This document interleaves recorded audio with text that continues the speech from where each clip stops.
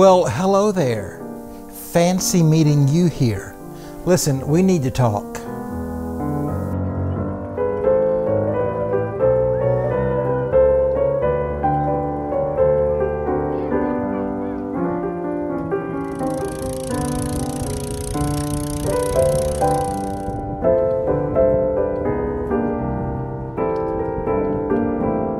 YouTube says the majority of my audience is male, and I know that usually when a husband or boyfriend hears the words "we need to talk," it's not a good not a good thing. You're not going to have fun for the next little while, but maybe this will be a little different. I don't know.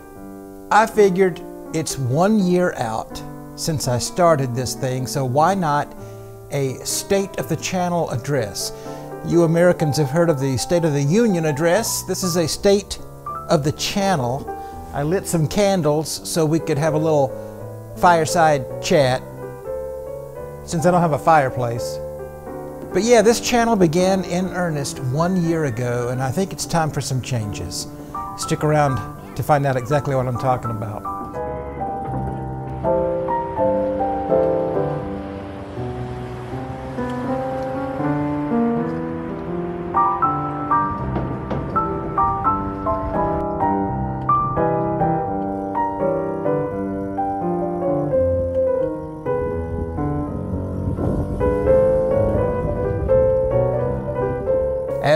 I'm sure you've noticed, I'm not in my usual spot.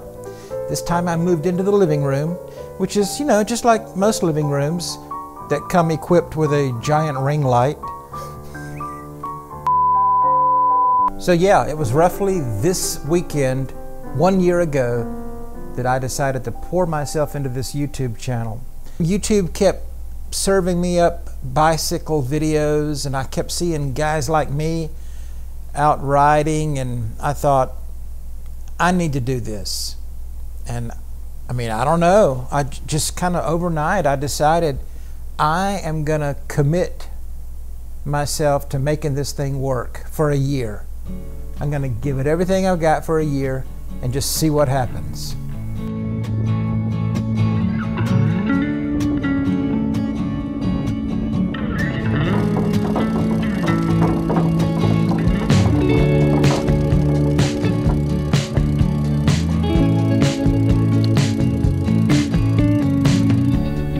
First, there was no real format.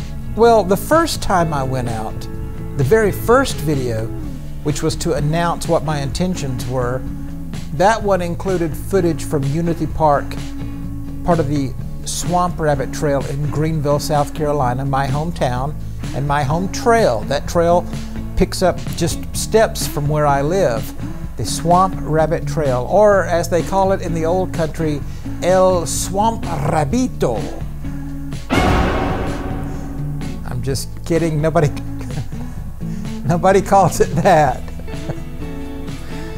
but anyway, so I thought it would be fitting during this video if I go back to Unity Park again and ride the Swamp Rabbit in and around and through Unity Park. And so you'll be seeing some of that footage interspersed throughout this video as we talk about what has happened during the past year and how things may be changing going forward.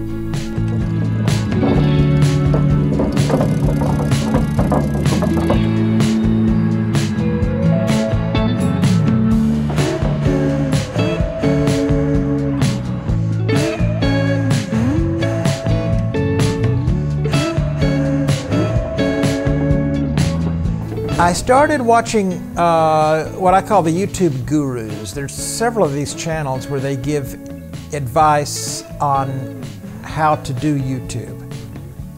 Um, a lot of the advice is not really applicable to me or to everyone, but every once in a while I would pick up on tidbits. And so Throughout the past year, I have been implementing things that these guys and girls would say regarding how to do YouTube, how to set up your channel, the best ways to try to attract viewers, and all of that sort of thing. I think I've hit on something that I'm comfortable with and that people seem to enjoy, although I think some changes are coming. We'll talk about that later on. Stay tuned.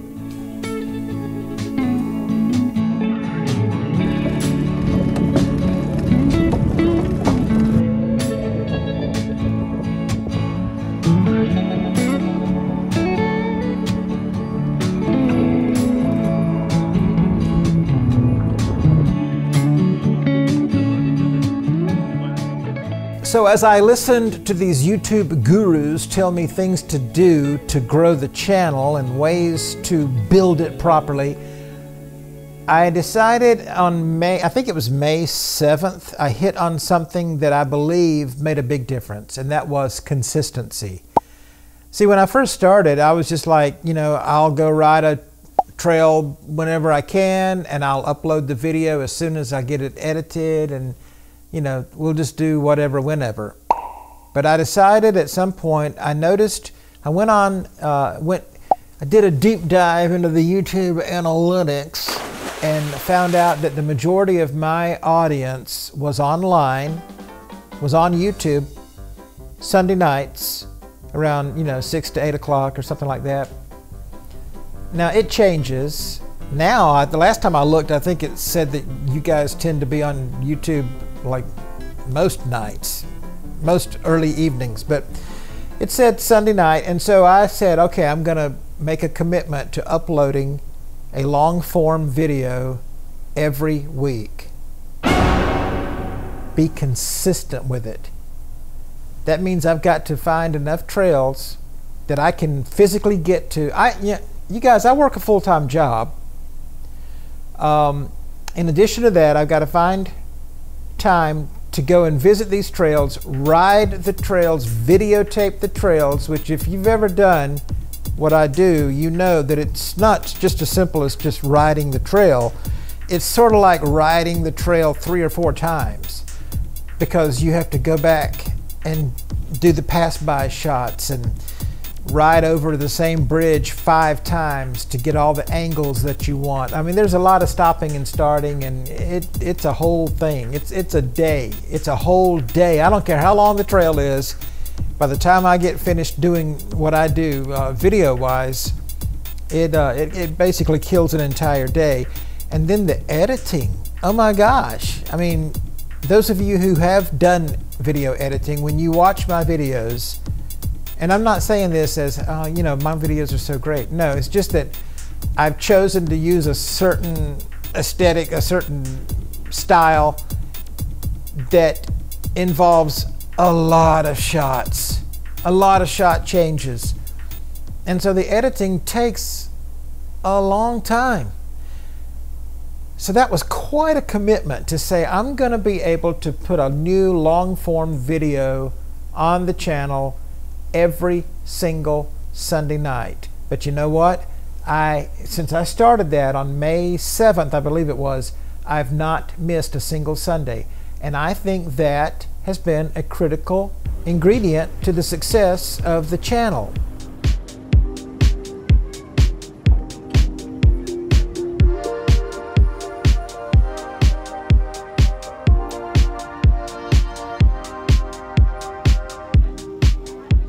Because people could count on there being a new video there. You could set your watch by it. I didn't disappear for long stretches and people wonder, hey, what happened to that channel? So I really believe that consistency was a key factor in growing the subscriber base to a thousand and beyond.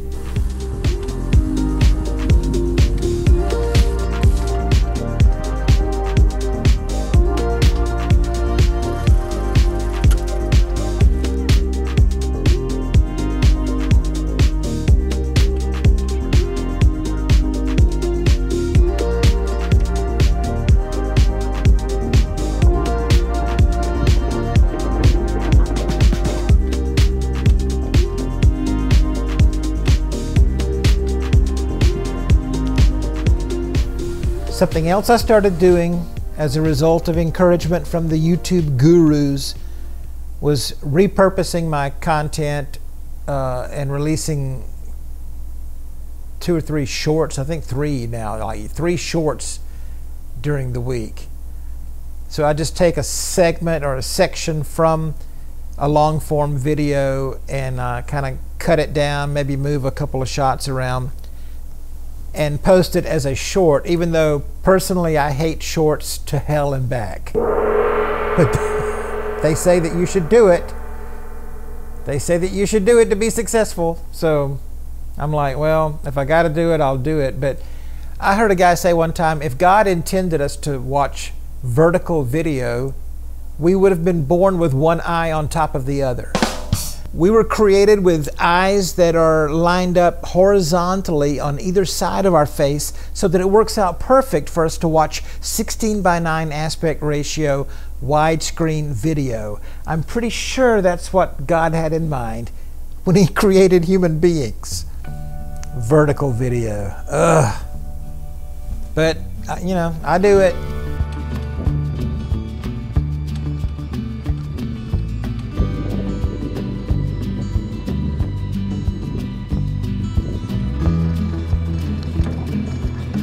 So we've been at it for a year. Let's take a look at the numbers, shall we? Now, we've gone from 100 subscribers the end of January 2023 to just over 1900 in a year. It took from January to mid November to go from 100 to 1000 but then I went from 1,000 to almost 2,000 over the course of just what, two or three months? So yeah, once you get past, seems like once you get past a thousand, and there was one video that really took off. The um, Virginia Creeper Trail Part 1 has 17,000 views. I don't know if YouTube just decided to really push that one or if it's because it's the Virginia Creeper Trail. Maybe it's just because it's a great, you know, Hall of Fame rail trail and people were interested in it. Um, yeah, 17 grand on that one.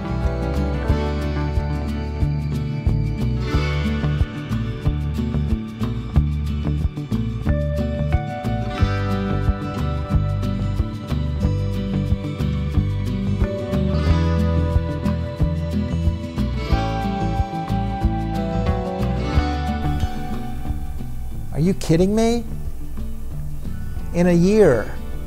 And so when I look at those numbers, you know, it's really gratifying because I was like, I'm going to really pour myself into this. I'm going to focus on it hard for a year and see if I can make this thing happen. I'm monetized now, but I don't make a lot of money. We can talk more about that in just a second. Plus, my news is coming up as far as changes to the channel. We're going to have to talk about it.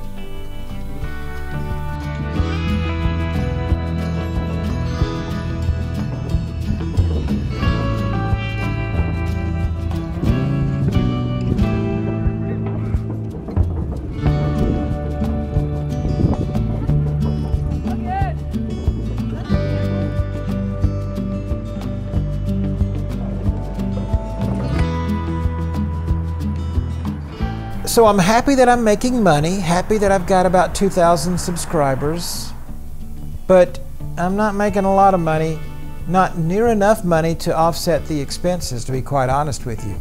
YouTube is not a get rich quick scheme. As a side hustle, it kind of sucks. I mean, unless the channel grows and grows and grows and grows way beyond what it is right now, it's going to be very hard for me to even offset the expense of, you know, motels when I do bike trips and video equipment that I purchase and just the time spent shooting the videos and editing. Anybody that tells you YouTube is a great side business is basically feeding you a line of bullcrap because, I mean, you have to love it. At the end of the day, you have to love it. And that's what I decided when I started doing this. I was like, look, I'm going to be riding my bike anyway. I'm going to be out riding these trails anyway. I might as well press record. Because I, you know, I enjoy shooting and editing the videos as well. So I enjoy riding the bikes, enjoy exploring the trails, enjoy editing and creating the videos, so why not? It's kind of a win-win-win-win. And the money that I get, which so far is a little bit of money, that's just kind of a side benefit. So, about that change that's coming, my big announcement. I'm getting a little burned out.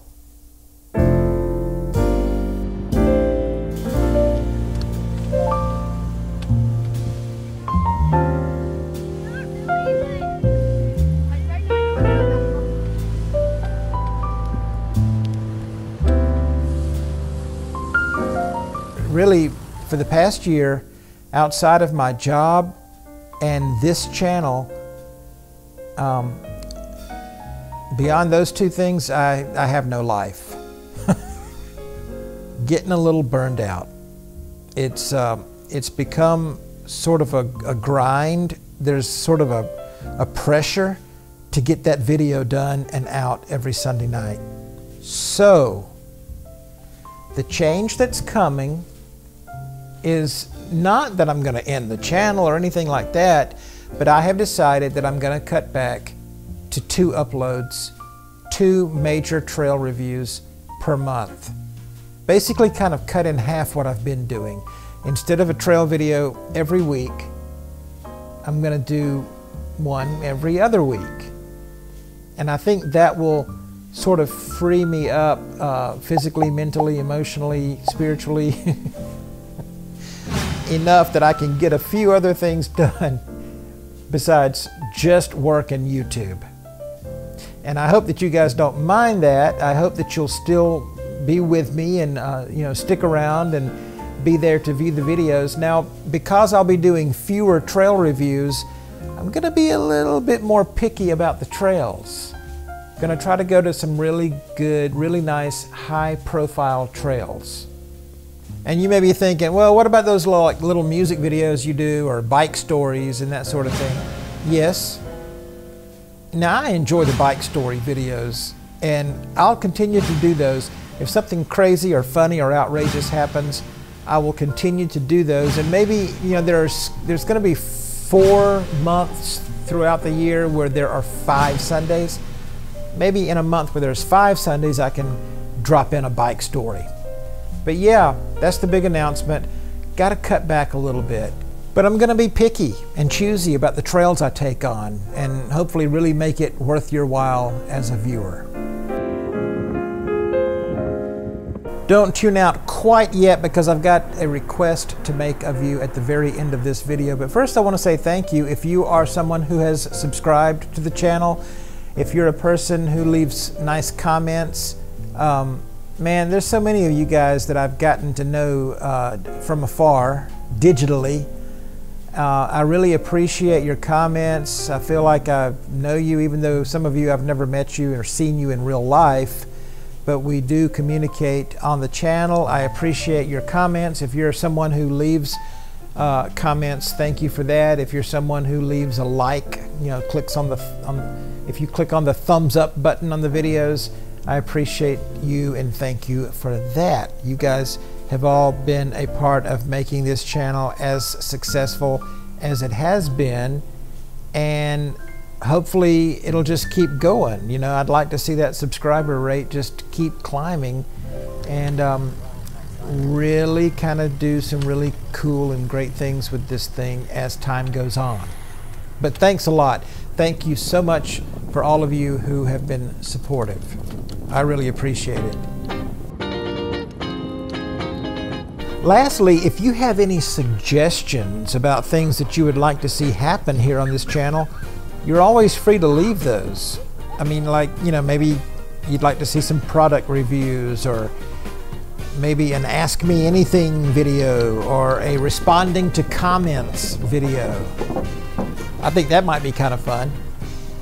Um, I've thought about doing a video on the channels that I watch, the creators that I enjoy, the bicycle YouTubers that have inspired me.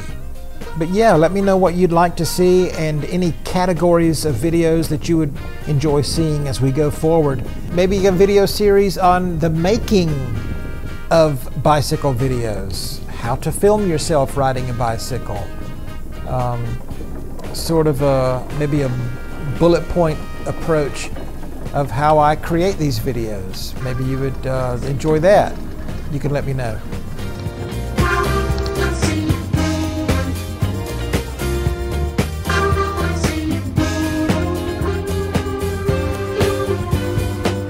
Again, I decided to lean in and focus everything I had on this channel for the first year. And overall, I'm really happy with the results and look forward to doing the same thing during season two. Hopefully, all of you will remain along for the ride. Let's continue to explore bike trails and hopefully find a little joy in the journey. What do you say?